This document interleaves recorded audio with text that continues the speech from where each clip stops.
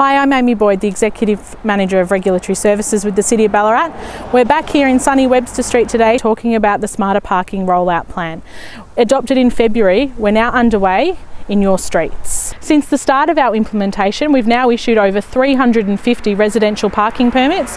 If you've not yet applied for yours, please go online and apply as soon as you can. You'll see over the coming weeks a number of changes in your area and we encourage you to familiarise yourself so that you don't get caught out with those changes. Officers will be looking to inform you rather than enforce you for the short term. The changes include signage, they also include line marking. The rollout will continue for the next few months before we move into our technology phase in the inner CBD. We encourage you to keep an eye out on all of our changes at the council website through the Smarter Parking links.